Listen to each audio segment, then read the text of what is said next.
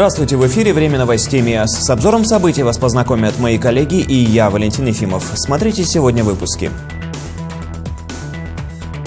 Тракторозаводский районный суд Челябинска рассмотрел ходатайство о заключении под стражу экс-главы МИАСа Геннадия Васькова.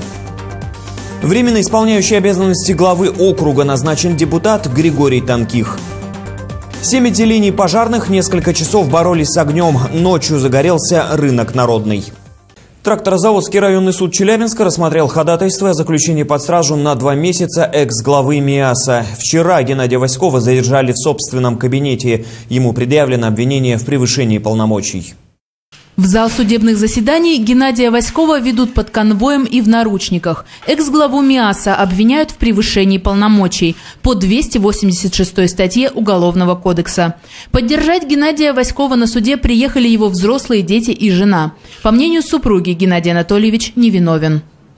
Оценка проводилась изначально, а, по которой покупались детские сады, была и оценка, и экспертиза этой оценки. Естественно, Геннадий Анатольевич а, и по всей процедуре проводил, проводились торги а, по покупке этого детского сада. А, если бы были какие-то сомнения в оценке и в экспертизе, наверное, этого бы не было.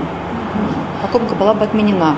Заседание длилось около трех часов. Геннадия Васькова защищали три адвоката. Они обратили внимание следствия на то, что Геннадий Васьков не уклоняется от дачи показаний и сам явился в администрацию, где вчера его задержали. Для подзащитного мы просим суд, чтобы была избрана мера пресечения в виде домашнего ареста или э, запрет на определенные действия. То есть это новая мера пресечения введена в УПК в апреле 2018 года.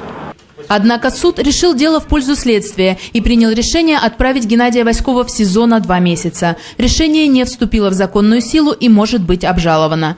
По версии следствия, в сентябре 2017 года Геннадий Васьков распорядился купить здание под детский сад за 24 миллиона рублей, тогда как рыночная стоимость помещения, по мнению экспертов, составляет 12 миллионов рублей. Кроме того, к помещению имеются претензии у Роспотребнадзора и Госпожнадзора. Потерпевшим по уголовному делу признан Миасский городской округ округ. На очередной сессии депутаты выбрали временно исполняющего обязанности главы МИАСа. Им стал депутат по 16-му избирательному округу Григорий Танких. Объявлен конкурс на должность главы округа. Прием заявок продлится до конца месяца. Сегодня состоялась внеочередная сессия собрания депутатов. На ней присутствовали 22 народных избранника. Первым делом депутаты приняли отставку Геннадия Васькова. Практически единогласно. Воздержалась только Елена Безденежных. Также единогласно народные избранники утвердили временно исполняющего обязанности главы Миасского городского округа. Им стал депутат Григорий Танких. Исполняющий обязанности главы подчеркнул, что его главная задача сейчас – обеспечить нормальную работу администрации и подготовку к следующему отопительному сезону. В этом вопросе Григорий Танких компетентен. Он работает начальником теплоцентрали компании «НСР». Правда, на время исполнения обязанностей главы округа на основной работе пришлось взять отпуск, признается Григорий Михайлович. Депутатские обязанности за него будут выполнять заместители. Вопросы у присутствующих на сессии вызвали возможные кадровые перестановки в администрации. Григорий Григорий Танких заверил, никаких новых назначений не будет. Александр Качев останется исполняющим обязанности первого заместителя. Одним из приоритетных вопросов на время работы в своей новой должности Григорий Танких назвал проведение торгов по комфортной городской среде и асфальтированию. Что работу можно делать в полном объеме, но на данный момент, вот по, по моей информации, э, мы еще даже не все сметы там в порядок привели. То есть мы не готовы еще на данный момент даже выходить на торги. Вот это вот большая проблема, и я думаю, что вот э, Качев Сан Саныч э, этим делом будет в приоритете заниматься прям с сегодняшнего дня. Также на внеочередной сессии депутаты утвердили комиссию, которая будет заниматься конкурсным отбором нового главы округа. В нее вошли три представителя депутатского корпуса – Евгений Степовик, Евгений Субачев и Сергей Пономарев. Еще трех представителей конкурсной комиссии должен назначить губернатор. С 15 мая по 30 мая э, будет возможность у всех желающих э, подать заявление на должность э, главы Миасского городского округа. Впоследствии будет время для того, чтобы конкурсная комиссия сделала соответствующие запросы, проверки сведений.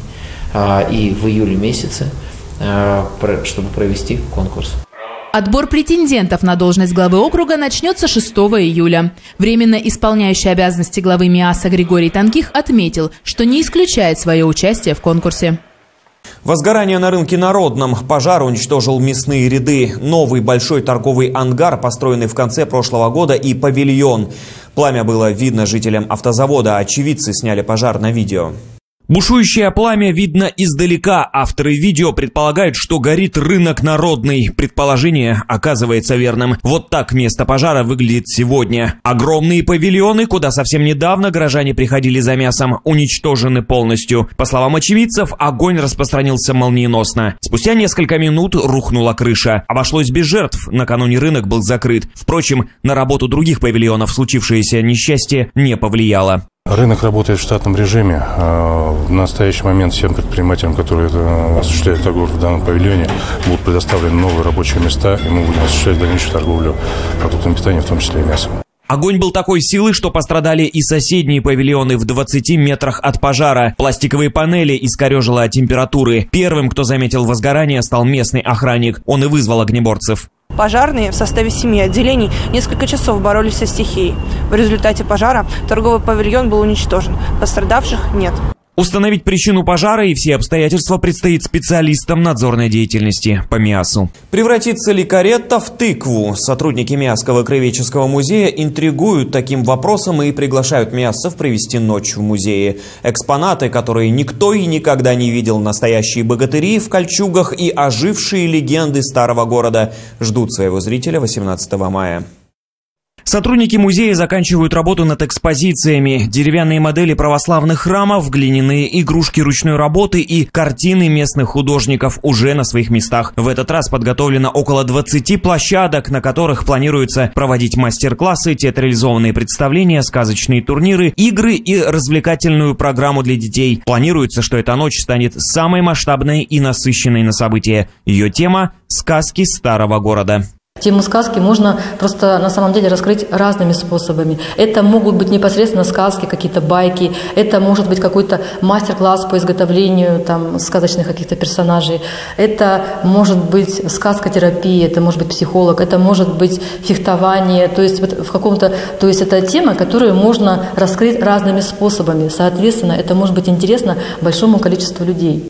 Подготовили сотрудники музея для своих посетителей и сказочный квест «Пойди туда, не знаю куда». Подробности его организаторы пока держат в тайне. Предстоящая ночь в музее будет уже 12-й по счету. Старинный особняк откроет свои двери 18 мая в 6 часов вечера. У меня на сегодня все. Наши сюжеты доступны на сайте 1obl.ru, а также в группе ВКонтакте телевидения МИАСа.